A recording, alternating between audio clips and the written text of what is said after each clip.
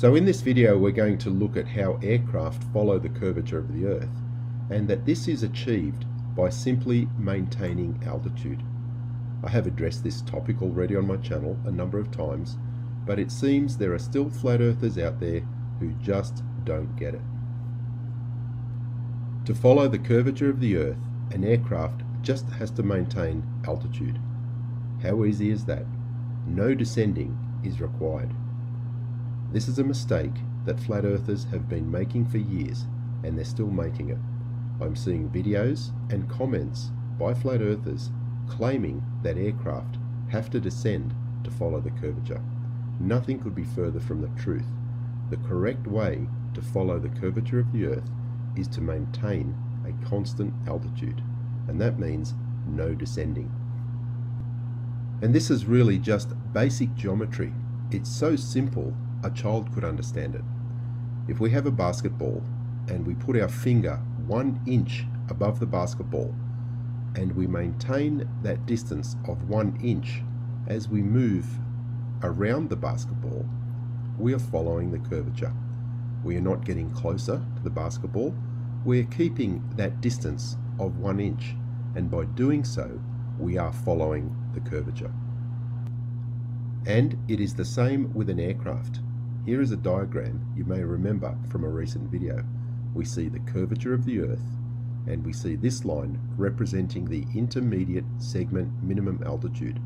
You will notice that that altitude is curved also because it is equidistant at all points from the surface of the Earth. If we are flying at 40,000 feet above the surface of the Earth and we fly for a thousand miles maintaining 40,000 feet above that surface at all times, we must have followed the curvature. So for the aircraft to follow this constant altitude line, which is curved, there is no descending required.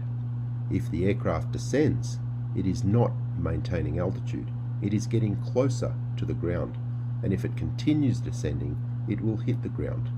To follow curvature, no descending is required. What I have here is an actual GPS track log from a recent trip from the USA back to Australia from my Bad Elf GPS plotted in Google Earth. And there you can see that the red line is representing the flight path of the aircraft. And you can see it is maintaining the same distance above the surface of the earth at all times. It is not descending, it is maintaining altitude and that is how it is following the curvature. If we zoom out, you can see the entire log. So when we fly our aircraft, we select the assigned cruising altitude. And there you can see 41,000 feet. That is the indication of the selected altitude. It doesn't matter if we are hand flying the aircraft or if it is on autopilot, the objective is to maintain that altitude. If we notice that the aircraft has climbed slightly, we will lower the nose to regain the desired altitude. If the aircraft has descended, we will raise the nose slightly to correct. Now when you're hand flying, you will constantly be making these adjustments with reference to the altimeter. When the aircraft is on autopilot, it is constantly making very tiny corrections to keep that altitude generally within 20 feet of the assigned altitude, and quite often even more accurate than that. The adjustments are so small they are almost imperceptible on these instruments. You won't really see an attitude change. The vertical speed indicator here will rarely move and the altitude indication will appear to be fixed. But when we look at the air data computer in the aircraft, we can see more accurately what is occurring. And we can see the information from the air data computer in the flight management system on air data 2 page. Here we can see calibrated airspeed, true airspeed, Mach number. And here we see pressure altitude very accurately being indicated from the altimeter, 41,006 feet. This VS represents the vertical speed, and you will see as the video plays that this is constantly changing from a small climb to a small descent to keep the altitude as close as possible to the assigned value of 41,000 feet. The aircraft is constantly making corrections. There you can see it's changing, slight climbs and slight descents, and these are so small they are imperceptible to the pilot. But the objective is to maintain that altitude as precisely as possible. And by simply making these frequent small corrections during the course of a flight, the aircraft will be maintaining altitude and therefore it will be following the curvature of the Earth. So I'll play a number of clips now and you can see for yourself the information from the air data computer on the FMS page and how often the aircraft is correcting. In part of the footage, I look through the head-up display and what I'd like you to notice is this indication here, which is the vertical speed, currently showing zero. Now the resolution here is only 50 feet per minute, so if the corrections are less than that, it will show zero. You can see it more accurately in the FMS. But as we fly, you will notice there are a couple of times where we do have a slight descent or a slight climb as the aircraft is maintaining very precisely the assigned altitude here of 45,000 feet.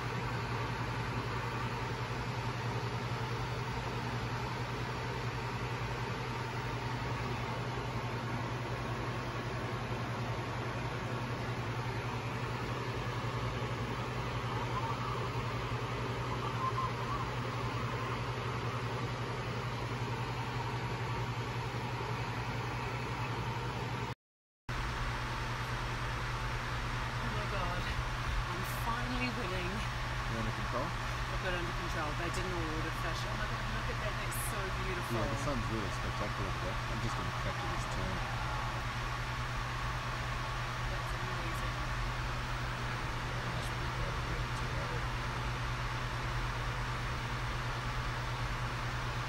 That's amazing.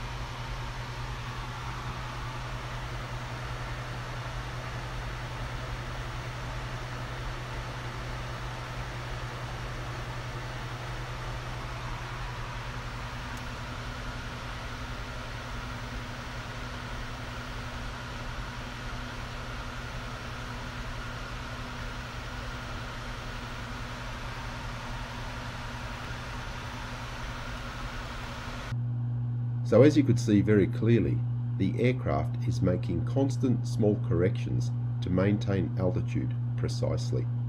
That is all we need to follow the curvature of the Earth, to maintain a constant altitude. If you encounter any flat earther still claiming that aircraft have to descend, please feel free to show them this video. And one of the most ridiculous claims I have seen from a flat earther on this topic is that he believes the aircraft would be descending so rapidly that the passengers would be thrown to the roof of the aircraft. And that just demonstrates that he has no understanding of how to apply mathematics to the real world. Several years ago, our good friend Walter Bislin produced this calculator titled Centrifugal and Gravitational Acceleration in an Aircraft. And with this calculator, you can determine accurately just how much centrifugal force is being generated by the aircraft following curvature. And you will see that even flying east with the rotation of the Earth, it is no more than about 1%. So for a 100 kilogram person, the weight would reduce to 99 kilograms. It would not even be noticeable and not even close to lifting a person out of their seat. Check out Walter's calculator. I'll put a link in the description below.